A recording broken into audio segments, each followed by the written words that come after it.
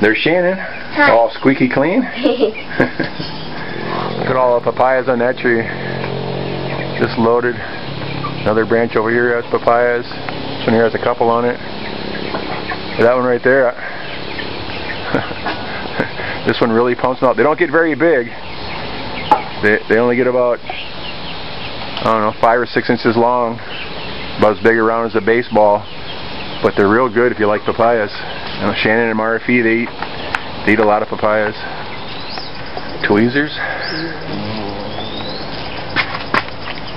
Those big bees there, they they bore holes into trees and make their nests in the trees. Seem pretty friendly around people. I've had them run right into my chest before. I never. He's looking us over now. It's like, what are you doing about my flowers? See that? There's a hairy caterpillar there. Now, caterpillars here are pretty nasty.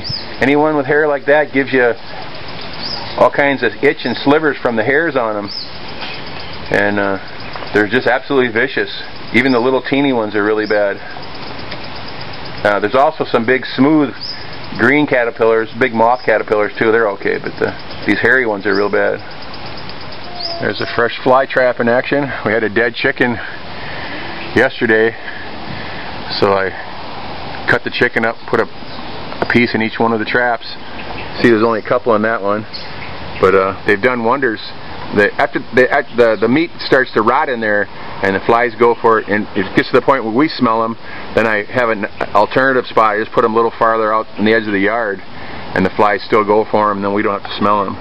But very nice. If you watch my video of how to make them, it's very simple and very useful. I'm over here by the chickens and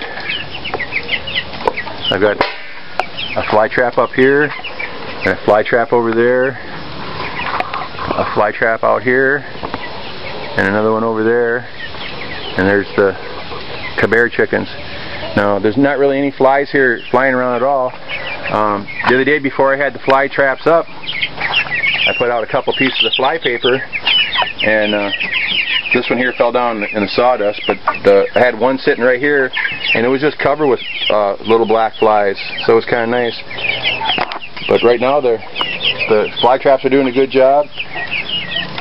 These chickens here, these are eating chickens here.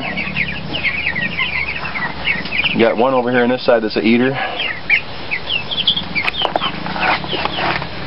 This is two different sizes mixed together.